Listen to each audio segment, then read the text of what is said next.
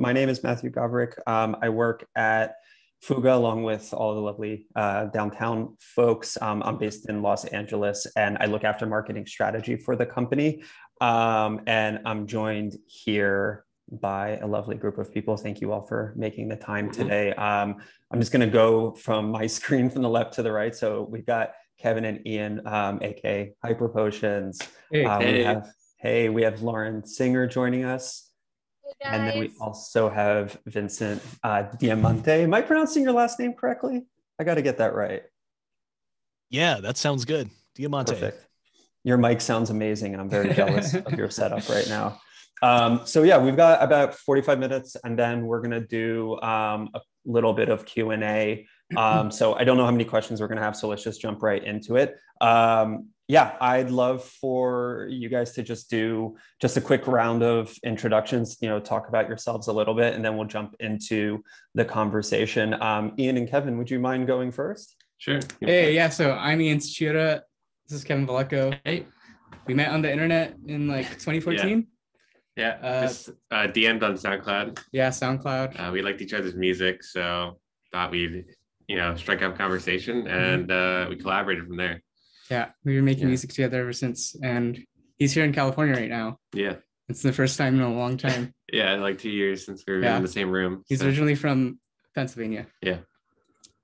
Uh, but yeah, we started uh, we started HyperPotions in 2015 specifically, um, and then um, you know, we'll go into it more about how we started making music for video games, but uh, pretty much just started with uh, trying to make fun, happy uh, music that's, you know, EDM leaned, but it doesn't have to be. Mm-hmm. It could be like pop produced too. Mm-hmm. Rock uh, inspired rock, too. Yeah. Just anything that's fun and, and energetic. Uh, we just love to make. Awesome, awesome. Thank you. Um, yeah, yeah, we're going to get into a lot of this, so I'll, I'll just keep it yeah. going. I'm going to try to moderate as, as best as I can yeah. here. Um, yeah, Lauren, I'd love to, to get your introduction as well. Sure. Hi, everyone. Um, I'm Lauren Synger. I am a voice actress, I'm a voice director, and a singer songwriter who writes original music. Um, I collaborate with other creatives composers and musicians to create original content.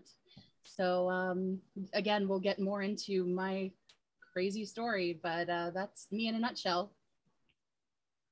Awesome, thank you. And Vincent, last but certainly not least, get in the ring. All right, all right. Uh, so my name is Vince Diamante. I've been working specifically in game music for, um, I guess, close to 15 years now. Um, I actually started out doing some very, very basic stuff in the mid 2000s. Uh, things like making ringtones for you know cell phones because there were cell phones before the iPhone hit. Um, uh, but that led into making games and making games on cell phones before the iPhone hit is not something that I wish on my on my worst enemies, quite honestly. Uh, but yeah, since then, I've just been making video game music for um, a really long time, uh, mostly embedded in the game developer. So I, I often work um, like all these other uh, employees at various game developers uh, doing either mobile games. Uh, I'm actually still doing mobile games right now, kind of a, a weird, ironic loop there, but also console games, arcade games, PC games um, I'm very much a game music and sound designer type of person, and uh, I really like that. Awesome, thank you. Um, yeah, there's there's gonna be a lot to get into there. I have a lot of questions for you, I think. Um, so yeah, let's just kind of talk about paths a little bit and how you all kind of got started and and all this. I think we just scratched the surface. Um, Lauren, I would love to start with you. Um, yeah, you mentioned that that you. Uh, Boy, putting me yeah. in the hot seat, huh? Okay. Yeah, I'm gonna I'm gonna yeah I'm gonna put you in the hot seat. Okay. Um, yeah, I mean, I would love to hear how you kind of got started because you do have such a diverse set of skills. You're obviously multidisciplined based off of your introduction. We've talked a little bit. Um, so yeah, I please feel free to start wherever you want. Um, the guiding light is just how did you get into creating music for video games, but however you want to get there. Um, we can start at the beginning, but yeah, I'd, I'd love to start with you and, and see where we go. Okay, well, I know we have only so much time, so I want to really try to focus it on what I people who are familiar with me want to hear about, which is Bendy. I know you guys want to hear about Bendy, so um, I'm going to give you a nutshell version, and then we'll go into that story because that's it's it's a great story. Um, you know, my crossroads dream come true moment was really all one and the same. I went from wanting to throw in the towel in voiceover. And I should mention that I've been doing voiceover since 1999 um, in various different um, venues, from audiobooks to commercials, and then, of course, video games, which I built out my home studio. And that's when it became pretty much, I would say, the primary source of work that I would get is video games and really what I loved anyway. I love the character work. That's that's what I live for is the character work. Um, so you know, I went from wanting to throw in the towel in VO to Alice Angel and Bendy and the Ink Machine and everything else that followed, uh, including writing a song for her, um, for Alice Angel in the game and challenging myself in ways I have never challenged myself before. Um, this was definitely a life defining moment for me and one that I am so, so proud to talk about. Um, so I'm happy to start here. Um, did you have any questions before I continue on? I think the one thing that I think we're all going to have, there's going to be like a, uh, a connectivity point here is uh, the home studio bit. Do you feel mm-hmm. like building the home studio was kind of, is that what opened it all up? Because Absolutely. I think in this independent space, yeah, yeah. Um, Absolutely. Yeah. I did that in 2008. So I started in 99. Uh, and most of the work that I was getting when I started to really get myself out there was local. And you hit a ceiling, you know?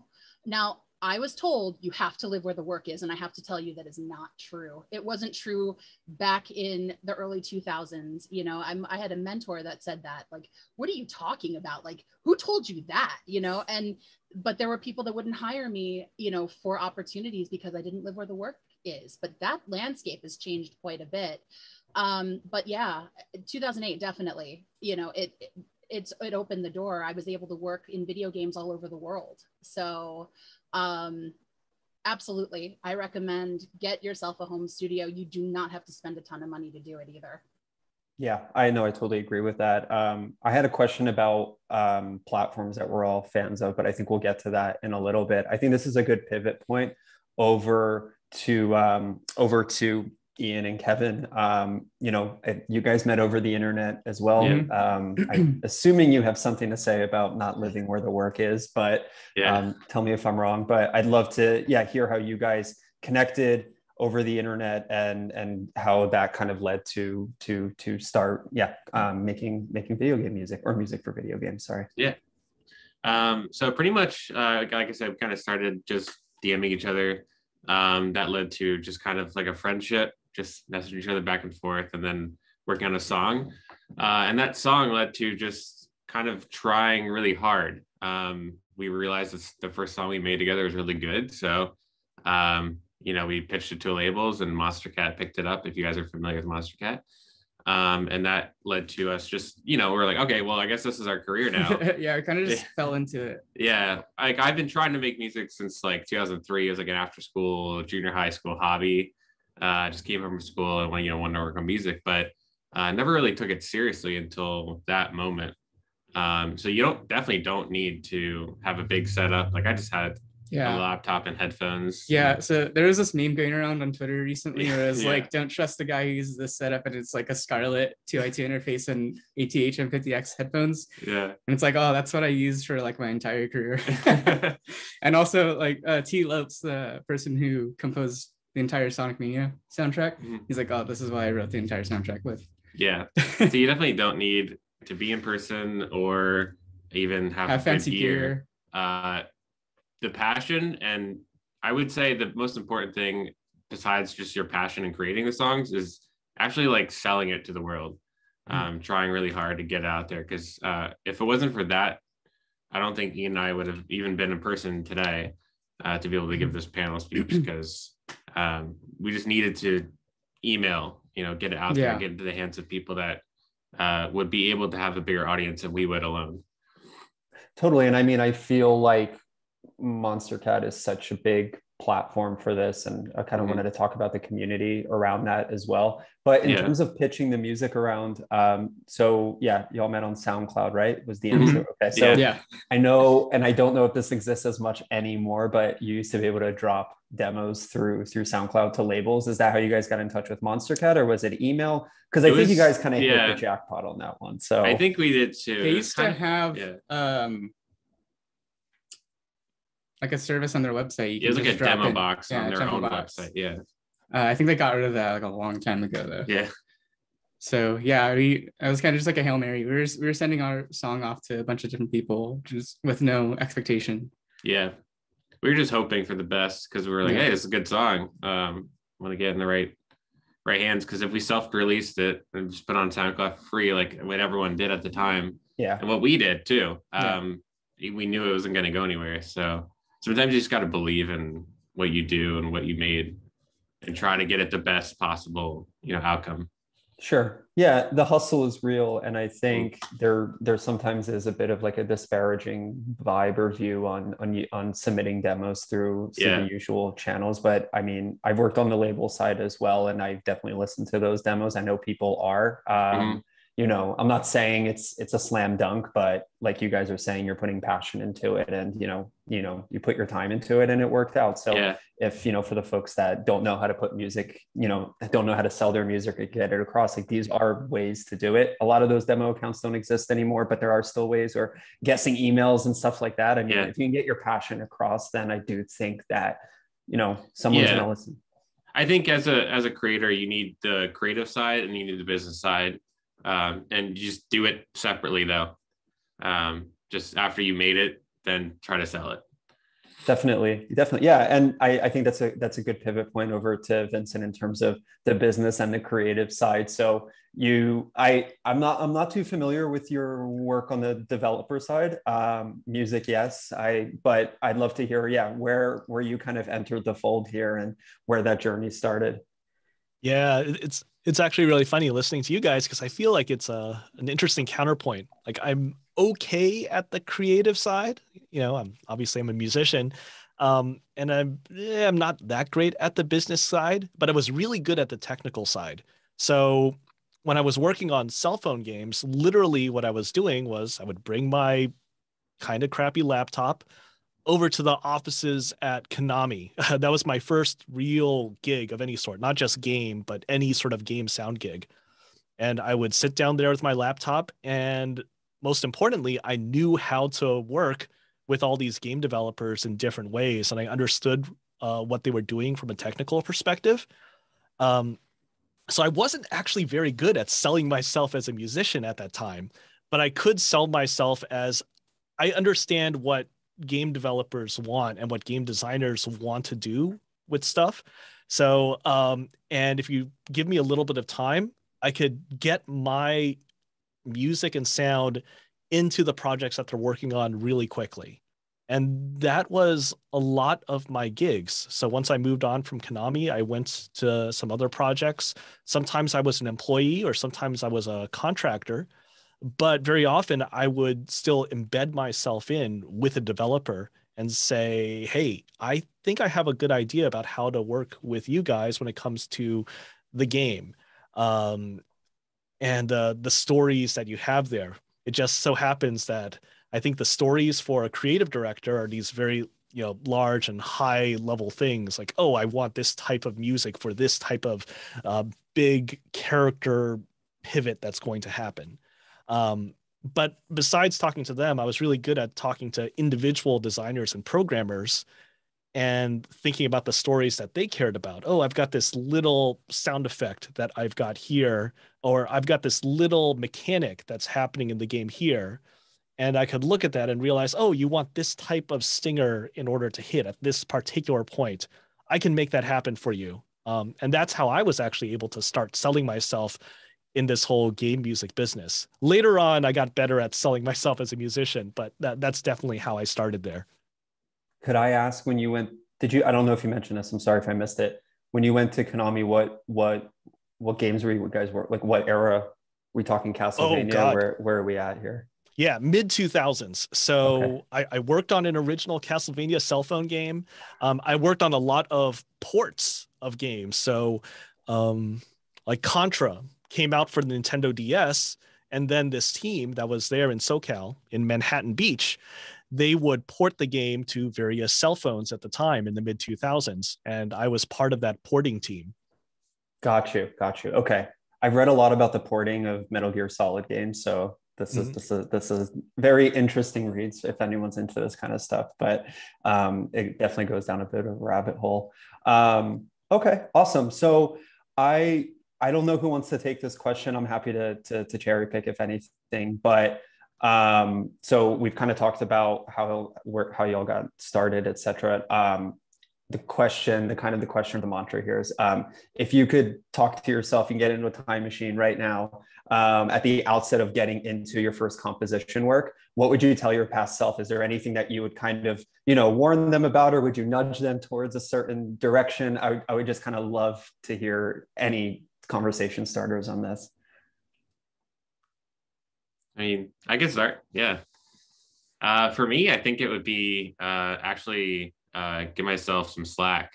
Um, I definitely gave myself a lot of like negative talk at the time, like uh, a lot of, uh, you know, like, hey, like you can't really do this. You're literally just like kind of fell into this career, kind of like self sabotaging talk. Um, and it definitely probably held me back a little bit for the first couple of years of thinking that I was good enough to be doing this at all. And I think a lot of us as creatives feel this way when we're making anything. We don't think we're, you know, we're imposter syndrome. We just don't think we're good enough to to do it. But uh, I think that's you just trying to protect yourself from pain. But the only way to like actually achieve success is to do it anyway uh, and try to shoot for the top um, and do what you want to do in your day to day. Uh, and if what you want to do is make music for games, and just do that. Try all you can, even if it leads in failure. At least you tried. So I wish I I, could tell that's great. myself that. Yeah, yeah we could all be a little bit easier on ourselves yeah, right? yeah. awesome yeah lauren i'd love to hear your uh, your take on this Sure. I mean, the one piece of advice, and I think this is something that I knew, but at the same time, as I had mentioned earlier, you know, there was those moments of wanting to throw in the towel. Uh, you know, the entertainment industry is a tough industry. Anybody will tell you that. Um, you know, I graduated from Ithaca College. I, I I'd been in music. I'd stu- I'd studied music since I was 13. Um, and I knew I wanted to do something with my voice. It was really the little mermaid that uh, disney's little mermaid was the kind of like my aha defining moment of combining those two passions of both music and voiceover into one career. So i was like okay well how do i go about doing this? I don't know anybody that does voice acting or i could talk to about this. So i'm going to go the path of music to start and I figured, you know, I graduated from Ithaca with a degree in voice and an outside field in modern languages. I worked really hard. And I, when I got out there, it's like, okay, well, you know, I should be able to scratch a living doing weddings and that kind of thing. Um, but then I realized that musicians are not the most reliable creatures on the face of this planet. and um, I was getting frustrated because I was the one doing all the work and I was the one pushing everyone. And it, there just, there wasn't a commitment from the other people and it was heartbreaking. And so I started figuring, well, what can I do with my life that I don't have to rely on anyone else for? And that became voiceover. But voiceover is not easy either. And one of the challenges is, you know, when a game, when a game they want to bring in celebrities, you get replaced. When a game um, goes union, then the actors who are non-union can no longer work on that project, and they also get replaced. So it's one thing like I had made my peace with if I audition, I don't get a part, fine, no big deal. But to have something that you earn taken away from you and given to someone else, there is just nothing more soul crushing in my mind than that. And the one piece of advice that, that I, and again, I knew it, but I wish I had had myself now to tell myself with this experience that I've had look, just keep going you know keep your head down and just don't give up whatever you do don't give up you want this and you are going to put in the work to make it happen It might not happen the way that you think it's going to. It probably won't, but it will happen. Just don't give up. And um, that's really, you know, my that's that's the best piece of advice I would give myself or anyone with anything when it comes to passion, being passionate about something. Yeah, I know, I, and I, it's, I think, I think, um, I think you guys are saying something very similar in terms of, yeah, cutting yourself some slack and not giving up and, and kind of, you know, continuing to chip away at it.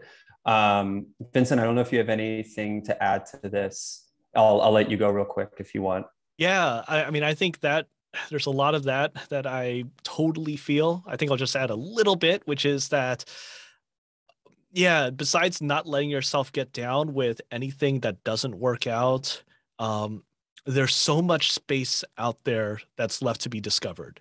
Um, uh, it's not just a matter of, oh, wow, there's a whole lot of gigs out there. There are so many things that you don't know is a possibility for you. Um, there are so many potential collaborators that are way beyond the horizon. You know, as far as you can go high up in terms of vision of this whole space of music and games, there's always somewhere else that you can go and check out. And we're more um, we're more able to move around than ever before in order to make things work. So there, it's I don't know. It's it's a great it's a really a great place to be, even if you're getting emails of, oh yeah, this isn't going to work out. You, you you keep on getting them. That is such a small fraction of everything that is out there.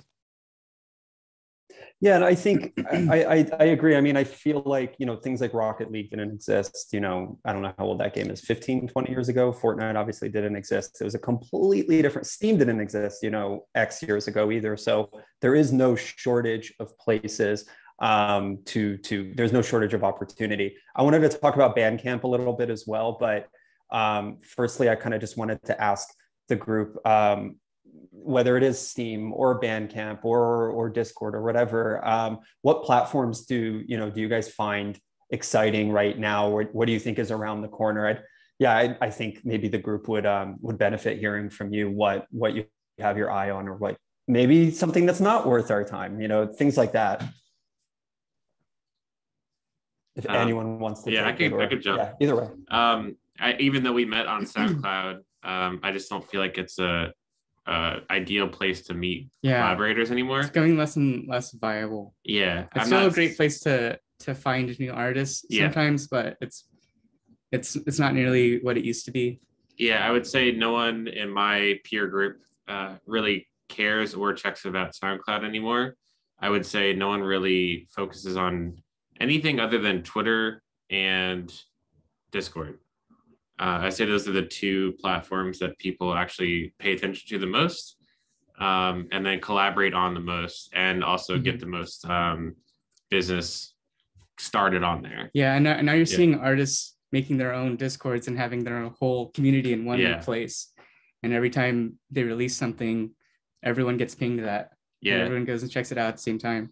And I will say, I think the best part about Discord in terms of business collaboration is that you can not have it only be business. Like you can just be hanging out with someone, mm-hmm. be playing games with them. Maybe you play Apex, you know, once a week with someone that makes a game. Two years down the line, they hire you to make a you know a soundtrack for their game mm-hmm. uh, because you're already close friends with them, and you didn't even really like know them when you first started playing games with them. Maybe they're just friend or a friend of a friend, and that happens. So I, I would say that's kind of a path that we had was like we just happened to know someone and they just liked us enough to help us you know pitch it at the company mm-hmm. um, and then we were we were in on a game that's wild yeah there's yeah. something to be said about the authenticity of it and being able to you know it's not just check out my new song it's, yeah. it's also mm-hmm. here's a demo or you know here's some yeah. art that i'm working on or something like that and being able to yeah. start conversation and you think most of that's happening over Discord versus yeah versus Twitter? I think because I think Twitter's a little bit of a yeah. You know, Twitter, I feel like you can know someone because you're interacting with their tweets, but Discord, you can actually know them uh, by actually being in a voice call with like five other people in a server. And I'm not, I'm not even talking about the highest level of Discord servers. I mean, just even just like close personal mutual friend ones. uh, maybe that person ends up, like I said, making a game sometime. And because you were on their radar, because you're always in that server, they just happen to think of you Mhm, specifically over anyone else they could have thought of because you're just in their circle. Mhm. That, I Might mean, be that's a big thing. Yeah. I might be reaching here a little bit, but do you think the pandemic sped that up? The I think so. kind of- yeah. Yeah. Because we never really did anything other than stay inside and talk in Discord. So. Yeah, we're sure. it's funny because like our our lives basically stayed the same, at least like our working lives. Yeah. Uh, it was always just working remotely and working behind two computers from different sides of the country. Mhm. And so yeah, I guess in that way, we weren't affected as badly. Yeah. And we, we're already used to just the working at home thing, working remotely thing. Yeah. Wait, so just to clarify, so this is the first time you guys have been together since when? Since t- 2019. Yeah. Uh, Yeah. the last time we saw each other was Anime Expo 2019 when we, we performed there. Yeah. But we're still getting stuff done through like Dropboxing project files Right. back and forth. Mhm. And yeah. I'm sorry, I would have sent you guys a pizza or something to share to, to celebrate this. That's awesome. Well, I'm glad you guys good, got. I'm glad that you guys We- are. You guys we've are. been- together. We've been Yeah. able to spend some time. Uh, Kevin's still here for a few more days. We've been getting a lot of work done. We were actually able to play our first show since 2019 uh, Yeah. yesterday in San Yeah. We just Francisco. played uh, Roblox Developers Conference yesterday. That was fun. Cool, cool. Yeah. Well, I'm glad you guys. Yeah, like I said, I'm glad you guys are together, and that's Mhm. that's that's good. Positivity, it's good. Um, Okay. yeah, in terms of yeah, for for for platforms that you you that Lauren and and and Vincent that you're using or you find interesting. it, Um, yeah, I just want to give you guys the the floor if you have anything to to tack on here. I mean, I agree with with um, what both Kevin and Ian said. Is uh, Discord and Twitter. Uh, you know, it's a great way to connect with people. I think with Twitter, it's more uh, direct, whereas Discord, it's more of like collaborative. And at least that's that's how I've found it and how I've used it. So just you know, tacking on what, what you guys said. Yeah, uh, just echoing that, uh, especially Discord. I mean, it's actually really cool to do some collaboration on, on Discord, uh, or or even just like you know a little bit of passive sort of um, um, I don't know, sort of osmosis stuff where people are just hanging out in voice chat and you know willing to share some sounds and just you know redirect some things there. It's like okay, cool. It's you can really get to know a person on Discord uh, like Kevin and Ian were saying, and I I Mhm. love it. Cool. And and in terms of um, for in terms of getting your music out to people, um, let's say um, you know, let's say you don't have you don't have a, a, deal with with a label or something like that. Um, what are there any distribution channels, platforms, things that you find interesting or would you know feel like you would be delivering the content to the right type of listener?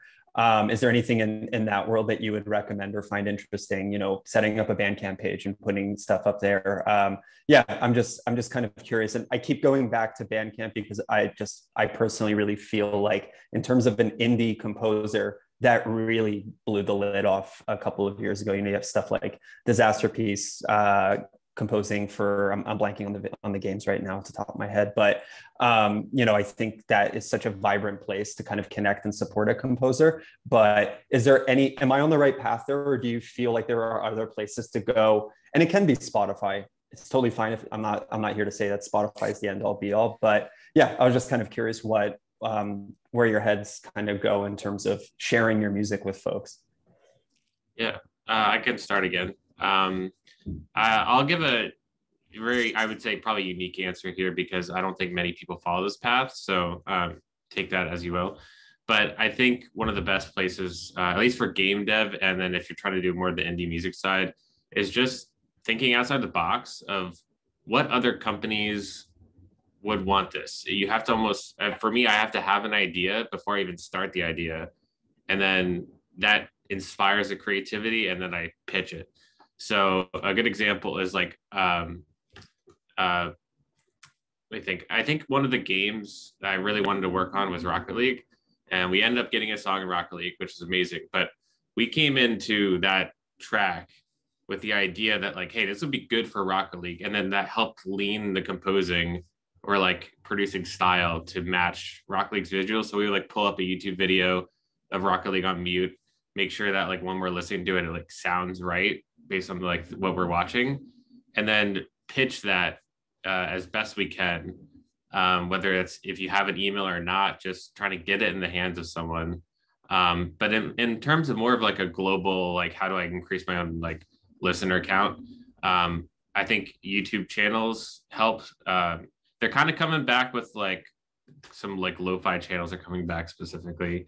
Um, they went away for a little bit, but just trying to get a bigger channel to enjoy your song enough that they would upload it and then get your name out there more it still is a great opportunity for lower follower people that just want to have that big break.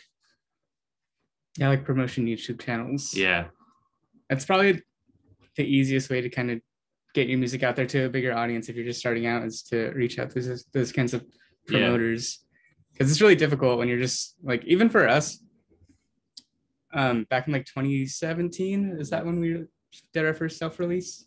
Yeah, 2017 was our first self release on YouTube. Um, yeah, after we started kind of uh, getting some tracks denied by labels, we were like, oh my God, what do we do? Yeah. And um, that's when we decided to just put our music out on YouTube just independently. Yeah, and it happened. It happened to catch the algorithm. Uh-huh. Um, whether it was like the thumbnail or title or whatever it was, it just, clicked at the time, and YouTube promoted it. Yeah. So we got lucky, but I can't say that's always the path. But sometimes that can be a path. Mm-hmm. But there are there are ebbs and flows in the whole yeah. YouTube algorithm thing.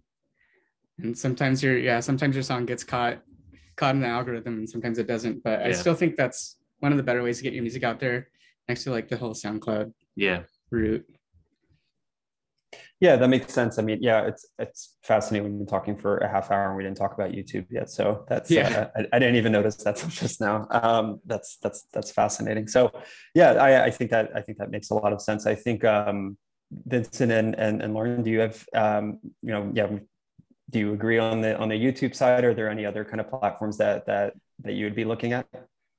Yeah, I think that's that's definitely cool. Um, I kind of want to do a little tangent, which is um, for me, I really like to ingratiate myself with the developer, whether I'm embedded or I'm an employee or not, and have them help out. So, for example, if I'm working with an indie developer or maybe even an indie that's actually perhaps larger, like a, a dozen people or so, they might not realize that being their own music publisher is an option for them. And like, hey, hey, I know, you know, we can do all sorts of things with the music. Um, I'm doing this thing. Let's say I'm doing this thing, work for hire. So you can do a lot of this stuff with this music um, and you can actually get a lot in terms of promotion, maybe even a little in terms of income and royalties. Uh, obviously, make sure that writers and, and whatnot still go to you, et cetera, et cetera. But hey, you, indie dev company, you should set up something really easily, you know, fill out some forms, be a publisher on ASCAP, do some stuff on TuneCore or something, and release the soundtrack. That'll be great. So you have a couple people at the game developer actually advocating for you unintentionally because well you know they've got this thing from you already and they want to keep on uh, going with the momentum there. So you don't have to do this all by yourself regardless of the path that you take. Yeah no i mean amen to that. I think um, shout out Songtrust for uh, for for organizing today and I think it's you're you're 100% right. I mean, you know, there are so many different revenue channels that that, you know, a lot I can't blame a creative at the end of the day for missing out on things. At the end of the day, you guys are the artists. You're making you're making the music and some folks just have a more of a, you know, knowledge base for this than others. It's so different now than it used to be, you know, we used to be able to upload on SoundCloud and that's it. Great. People can react now. Things will get taken down, et cetera, et cetera. It's, you know, how do you make sure that every penny is accounted for, et cetera. So you're 100% right. And that's the right tangent to uh, to mention. So I'm glad that you did that. Thank you. Um, and then, yeah, uh, Lauren, I, I, don't know if you have anything else that you wanted to add on this um, from your path. Yeah, you know, well, um, first off, I loved hearing the ideas from everybody else. I, I think you guys just have, you know, just visionaries in terms of how you get your music out there, and I applaud you for it. I think it's really smart. Um, you know, for me, I found that oh, a couple things. I mean, you know, if you're working with an IP that has a really big following already, you can use the music that you write for that IP to get your stuff out there. But you can also collaborate with people who have a big following and cross promote. So they promote you, you promote them. You know, I find it's always good to have friends in the industry and have people that you can work with so that you can help each other. You know, I'm, I'm a firm believer in win win relationships, and um, it's all about helping each other. Absolutely agree. I mean, things like I, I love that on Steam you can buy Stardew Valley and get the soundtrack as a bundle. You know, that's wasn't really being I mean, I'm sure it's been done in the past, but the fact that the composer of the music can come with the game. So you want to, you know, back in the day you would get what a zelda cd if you get the n64 cartridge or something but it's yeah there should be win-win because there is work going into both sides um, i wanted to ask you as well in terms of the collaboration and lauren yeah i'd love to start with you because i think um, you know with kevin and ian we've talked about how you guys have been approaching you know for rocket league vincent i'd love to talk about the Sony properties a little bit. Um, and then Lauren, in terms of collaboration, like you were just saying, kind of the win-win side, um, how do you approach the collab process in general? Like, are you, um, and sorry if I'm being a little naive here, but are you coming with an original body of work and then trying to, you know, shop it for the right partner? Or is it more of you're getting a spec of a project and then starting to create the, the music? it's usually more that I have a spec of a project and then I'm creating off of that. And a spec of a project is usually, you know, a creative burst, uh, you know, like that, that just like a spark that ignites a, bin- a bonfire. So, you know, I get very excited and I share that excitement with my circle. And, you know one thing that's just so rewarding to me is that the people that i've worked with it i i really again i told you i believe in win-win relationships and i really like to treat the people that i work with you know as as well as i can i want this to be a great experience for them and i mean it and i tell them that and so anything i can do to help make it a great experience for all of us I, it's a collaboration you know it's not the same without them um, I think has really created loyalty with the people that I work with.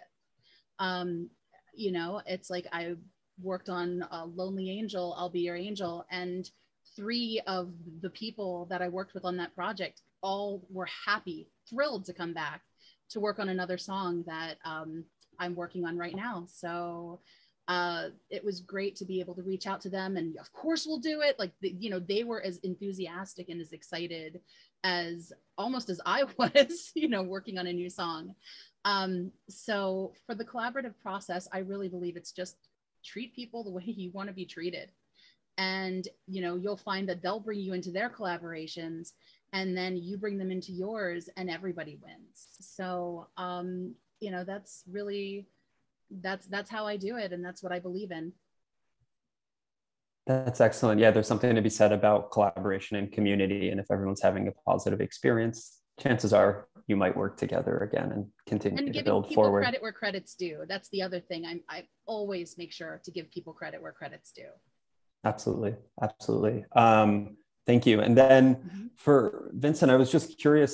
Do you have anything to add, maybe from a perspective of like the the the composition work you did for Sky and Flower, were you given a build of the game and then you started creating? Because those are very lack of a better term, kind of conceptual. You know, it's not what you traditionally expect from a video game. So I'd love to hear if there's anything that you'd be, you know, willing to share on that side.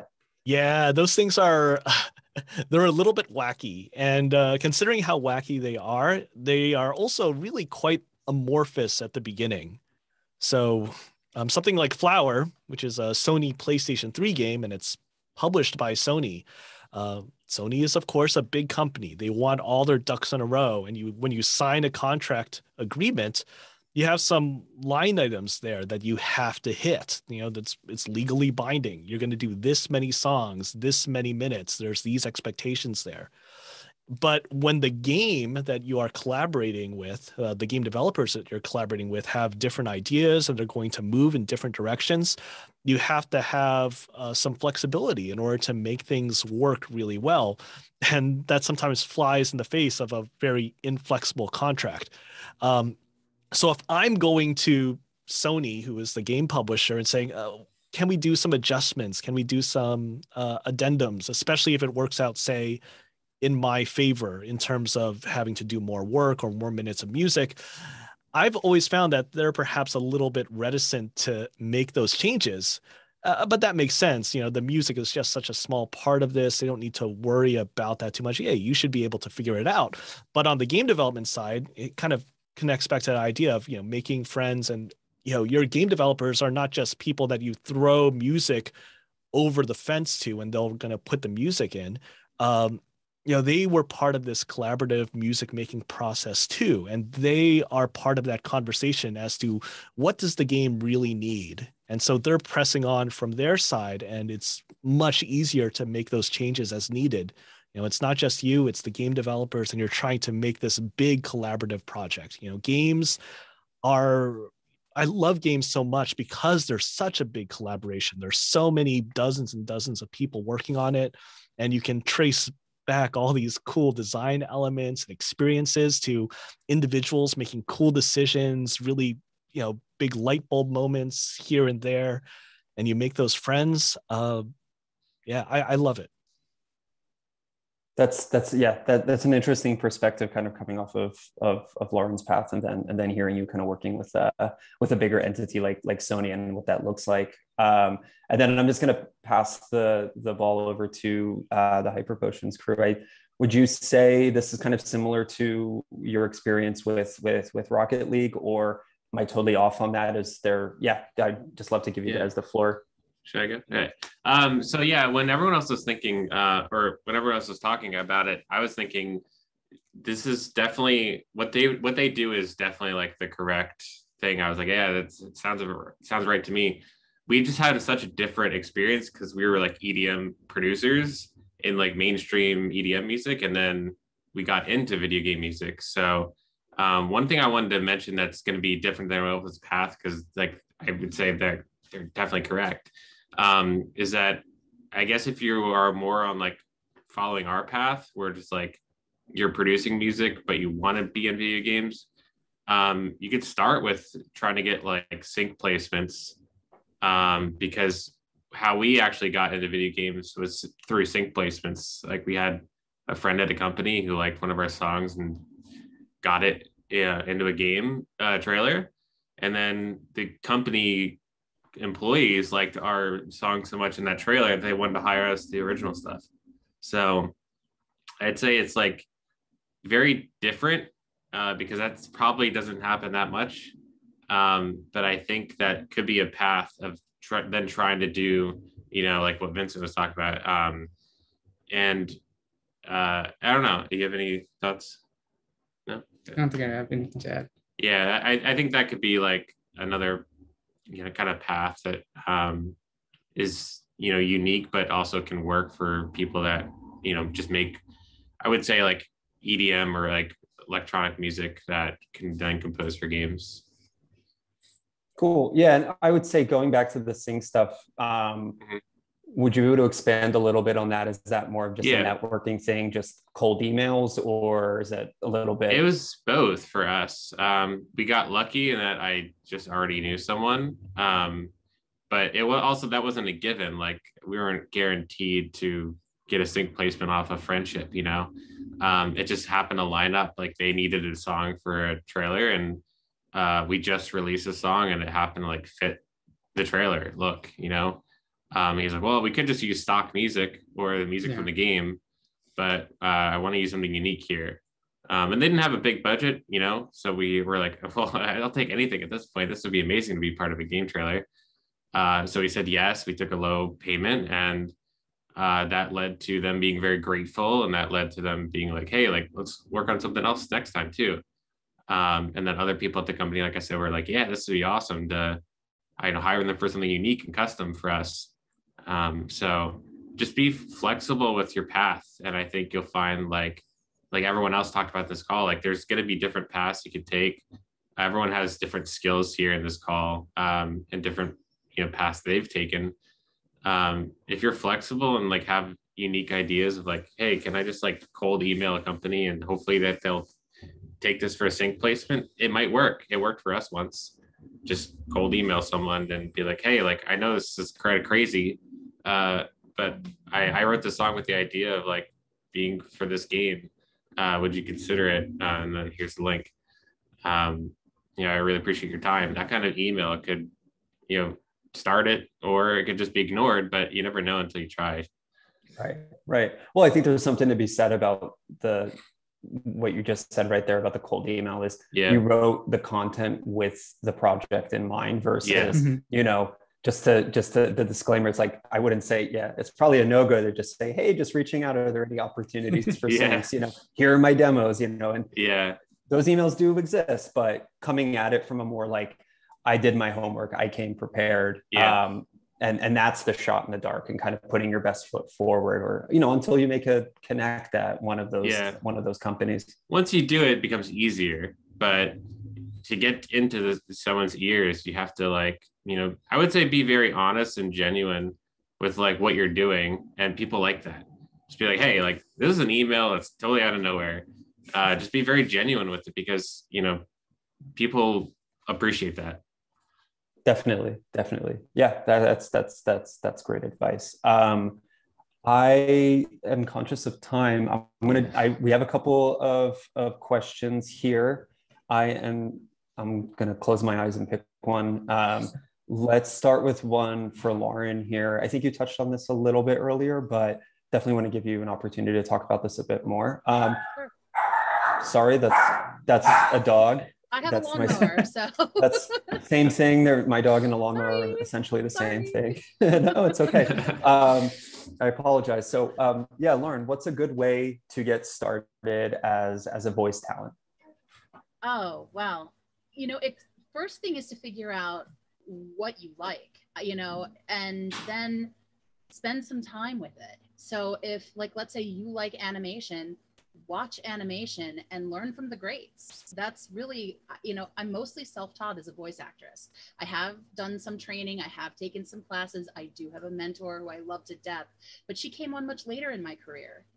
I really, you know, I was a child of the 80s. I grew up watching the cartoons of that time period. And so I listened to the greats. And that's the other thing listen to the greats. Go back and check out Mel Blanc and check out June Foray and check out, you know, my hero, Frank Welker. I adore him.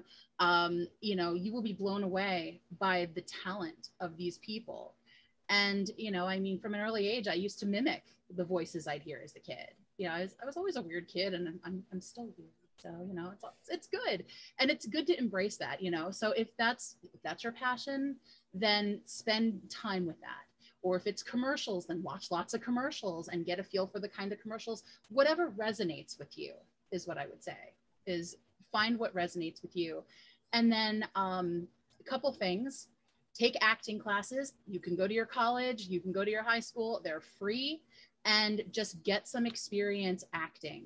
Get some experience. Now, I will tell you that acting on stage, and because I, I, I did quite a bit of acting on stage, especially in my younger years, but acting on stage versus acting behind a microphone is a totally different animal. So be prepared for that as well, um, which is why it is good to take some classes and to get comfortable with the type of voiceover that you want to do. Um, and then really, it's just about getting yourself out there, making a demo that really showcases what you can do and who you are. Um, you know, authenticity is a big thing. And it's funny because, you know, doing characters, you were like, well, you know, you're doing all these weird character voices. It's like, yeah, but these are the ones that really speak to me. Like, I love doing these character voices. So, you know, have that passion because again, as, as we talked about, you know, it's, it's, this can be a very tough industry. And so, you know, you want to follow the path that speaks to you. Definitely. I I just have one question. When you're yeah. if if you're following the greats, like what do you what do you look for? Like let's say I'm watching Batman the animated series and I'm sure. listening to ah, what am I, I love know, Batman the animated uh, series. Me too. And I'm listening to I'm listening to Mark Hamill do the Joker classic. Oh, like what are you looking for exactly? Like if you're trying to get into voice work, what I'm just kind of like, are you looking like the highs and lows of the voice, or like how does that work? Uh, I usually look for some like something that's like a signature for that character. So when I think of the Joker, he has this laugh that he does that I love. I love Mark Hamill's Joker laugh where he starts low and he builds up into this crazy wild laughter. Laughter, especially for villains, is always a good place to start.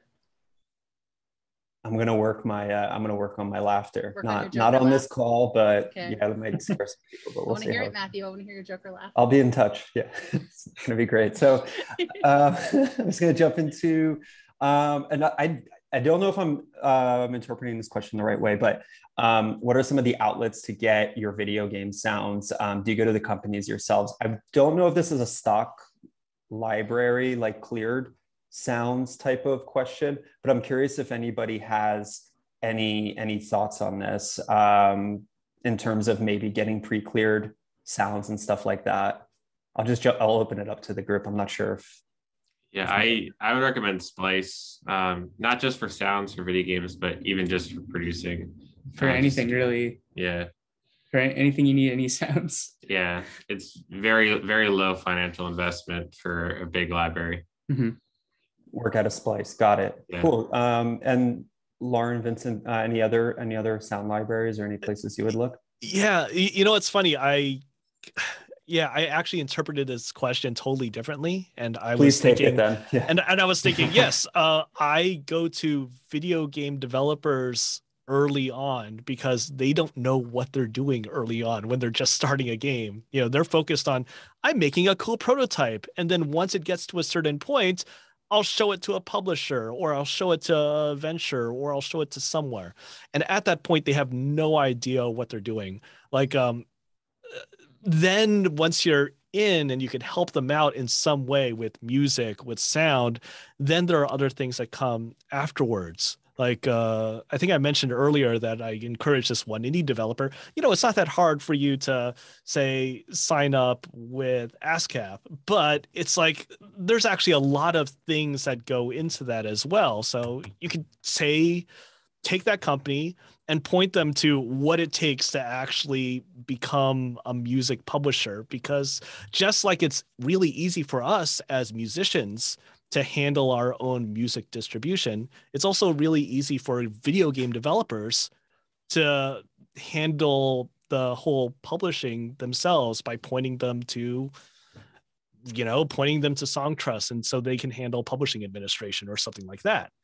Um, so getting in with a developer early i think is great. And yeah just going to the companies themselves there are so many individuals that are out there making video games now Definitely. And one thing I would add on to that is also, yeah, if you're going to get that score, that soundtrack or whatnot onto digital streaming platforms, whether it's Apple, Spotify, what have you, um, you know, ensure that the delivery is legit. Um, there's a score that I was looking for the other day. I load it up. It's all grayed out. There's something wrong with the delivery. Maybe something wasn't cleared. So just make sure that you're going through the right, you know, channels to do that. Whether you're working with a TuneCore or a Fuga or you know with uh, CD Baby, et cetera. Just you know, go to there's there's no shortage of of of, of outlets to do this. Um, a lot of the DSPs do have preferred partner links, and you can go in there and see who's legit and who's not. Start there, just so if you want to get your music out to the masses, make sure that it's actually you know available. Especially you start talking about it in Discord, and then